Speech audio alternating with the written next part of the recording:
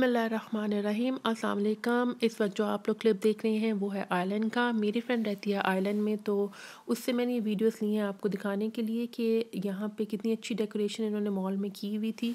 Ireland की shopping mall में तो मैंने सोचा कि मैं इसको अपनी वीडियो में ऐड करती हूँ। तो यहाँ पर आ यहाँ की वीडियो देख के मुझे तो बहुत ही अच्छा लगा था। आई होप आपको भी अच्छा लगेगा। तो थैंक यू फिज़ा मुझे क्लिप सेंड करने के लिए। फिर जैसे ही क्रिसमस का सीज़न स्टार्ट होता है, रौनक बहुत ज़्यादा लग जाती है। मॉल्स जो है वो सज जाते हैं। अभी जो आप क्लिप देख रहे हैं, वो है डेबनम का। मैं डेबनम में आई थी, मुझे कुछ चीज़ें लेनी थी मेकअप की तो मैंने सोचा कि मैं यहाँ पर आके छोटा सा क्लिप भी बना लेती हूँ। डेबनप ने अभी पूरे तरीके से क्रिसमस की जो डेकोरेशन है वो नहीं की है।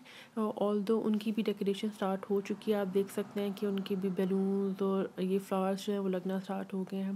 लेकिन जैसे ही क्रिसमस मज़ीद पास आता जाएगा, इनकी डेकोरेशन भी देखने वाली होती है और वो बहुत ही खूबसूरत लगती है। तो इन जब क्रिसमस का मंथ जो है वो बिल्कुल पास आ जाएगा या क्रिसमस के मंथ में मैं विज़िट करूँगी तो मैं आपको ज़रूर यहाँ की सारी चीज़ें जो है वो दिखाऊँगी। इस वक्त उन्होंने काफ़ी ज़्यादा ऑफ़र्स जो हैं वो लगाई हुई हैं परफ्यूम्स के ऊपर और वो काफ़ी अच्छे अच्छे रेट पे थी। आई मीन क्योंकि काफ़ी एक्सपेंसिव परफ्यूम्स हैं तो उन्होंने इसकी हाफ़ प्राइस की हुई थी। तो जिसको भी अगर कोई गिफ्ट लेना हो और वो यूके में रहता हो तो वो डबनम जाके उसको परचेज़ कर सकता है। मेरा आपको दिखाने का मकसद सिर्फ़ ये था कि यहाँ का डबनम इतना बड़ा है और यहाँ पे बहुत ज़्यादा चीज़ों की जो है वो वैरायटी होती है, जो इंसान एक दफ़ा वहाँ पे जाता है तो उसका दिल करता है कि बस वो कुछ ना कुछ ले के ही यहाँ से जाए। तो बींग अ लेडी आपको पता है कि हम लोगों की कमज़ोरी होती है कि हमारा मेकअप और परफ्यूम्स के काउंटर पे जाना बहुत ही ज़्यादा ज़रूरी होता है। तो मैं भी बस इसीलिए अपनी शॉपिंग करने के बाद यहाँ पे देख रही थी कि और क्या क्या नई चीज़ें जो हैं, वो इन्होंने डिस्प्ले की हुई हैं। तो अच्छा स्टफ़ था, लेकिन फ़िलहाल डबनम में इतना रश मुझे नहीं लगा।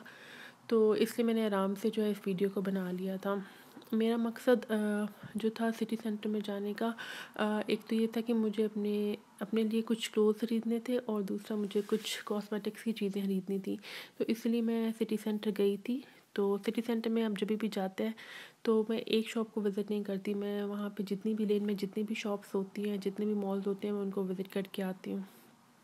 यहाँ से फ्री होके मैं चली गई थी के क्योंकि ये हलाल के है। तो यहाँ पर आप देख सकते हैं, इतनी लंबी क्यू थी कि मुझे सिर्फ़ यहाँ पे वेट करते करते ही एक घंटे से ऊपर हो गया था और मेरी अभी तक जो है बारी नहीं आई थी और मैं स्टिल जो थी वो वेट ही कर रही थी, जो मुझे बहुत ही ज़्यादा मुश्किल लगा। बच्चे के साथ आपका क्यू में खड़े होकर वेट करना बहुत ज़्यादा मुश्किल होता है बट क्योंकि क्योंकि यहाँ पे कोई और हलाल शॉप नहीं थी तो मुझे वेट ही करना पड़ा था।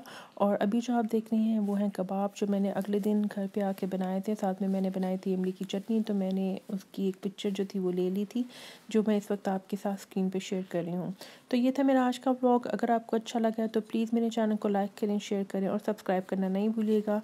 मैं आपसे फिर से मिलूँगी किसी और नए ब्लॉग में। तब तक के लिए मुझे दीजिए इजाज़त। अल्लाह हाफ़ अपना बहुत ढेर सारा ख्याल रखिएगा। बाय।